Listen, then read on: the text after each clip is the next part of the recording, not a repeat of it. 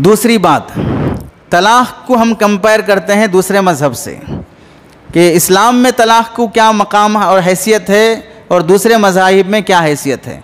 चुनानचे हम पहली बात हम पढ़ते हैं, यहूदी मज़हब, पूरे दुनिया में सबसे बड़ा दहशतगर्द और टेररिस्ट जो मज़हब है वो यहूदी मज़हब है।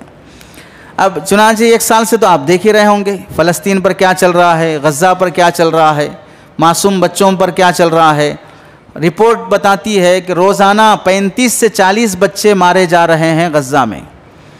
35 से 40 बच्चे रोज़ाना मारे जा रहे हैं।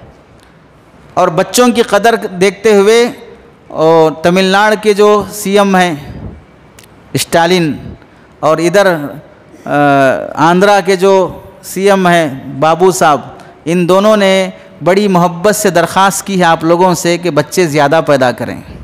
और ये दोनों मुसलमान नहीं हैं। आपने रिपोर्ट पढ़ी होगी। बच्चे ज़्यादा पैदा करें। अब उनसे पूछे जो कह रहे थे, बच्चे दो ही अच्छे। तो उनसे पूछें कि अब कौन अच्छे? तो एक बच्चा पैदा होना भी कितनी मुश्किल होती है आदमी को, कितने इस बाबा के पास, उस आमिल के पास ये इलाज, वो दवा, और वहाँ रोज़ाना 35 से 40 बच्चे शहीद किए जा रहे हैं। फिर भी ह्यूमन राइट्स और फिर वो अकवा मुतहदा सब के सब बेशरम किन्नर बने हुए हैं। किसी को कोई दिलचस्पी नहीं है किसी की मौत और ज़िंदगी से। तो हिंदू धर्म में तलाक़ की क्या हैसियत है? पहली बात देखें, हिंदू धर्म इतना यहूदी कानून जो तलाक़ के सिलसिले में है, इतना ढीला कानून है जैसे पुराने ज़माने में गाँव के लोग ढीला पैजामा पहनते थे। इतना ढीला पैजामा पहनते थे कि पैजामे के एक साइड को उठा के वो फारिग हो जाते थे पानी बहाकर। इतना ढीला कानून है। कैसा ढीला कानून है देखिए कि लड़की शादी करके आने के बाद शोहर अगर चाहे कि मौजूदा बीवी से निकाह ख़त्म करना चाहता है, क्यों ख़त्म करना चाहता है? मुझे दूसरी पसंद आ रही है। बस। छोड़ दो, तलाक दे दो, कोई मसला नहीं। भाई, मेरी बीवी में क्या गलती है? आपकी बीवी में गलती नहीं है, लेकिन दूसरी इससे अच्छी है। इसलिए इसको छोड़ दो। ये यहूदी कानून है। चुनानचे यहूदी धर्म में बीवी को छोड़ने के लिए कोई रीज़न नहीं चाहिए। बस दूसरी औरत में जो कैपेसिटी है, या जो खूबसूरती है, या जो भी उसके अंदर अच्छापन है, वो इसके अंदर नहीं है तो आप इसे छोड़ दे सकते हैं। तो आप बताइए फिर औरत का क्या मकाम रहेगा? कि भाई मेरी गलती ही नहीं है, अब दूसरी मेरे से अच्छी दिख रही इस वास्ते इसको छोड़ दो।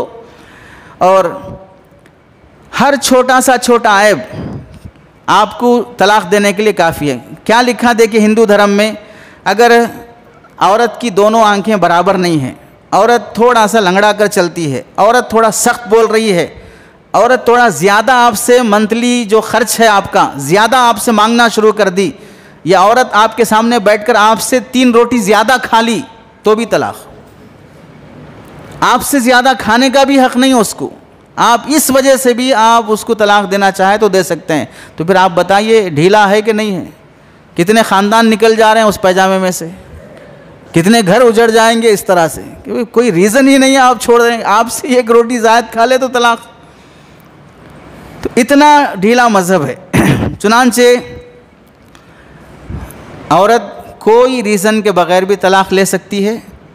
अच्छा इसके बरक्स, यहूदी धर्म में मर्द चाहे जितना भी खबीस हो, जितना बड़ा शैतान हो, जितना बड़ा गुंडा हो, लेकिन वो बीवी अगर उससे छुटकारा पाना चाहे तो नहीं पा सकती। यानी औरत को एक रोटी ज़ायद खाने पर भी तलाक देने का मर्द को हक है। मर्द अगर गुंडा है, शराबी है, जानी है, सूदखोर है जाली में कुछ भी हो उसकी वजह से अगर शो, बीवी उससे छुटकारा पाना चाहे तो बीवी को छुटकारा पाने का कोई रास्ता नहीं है।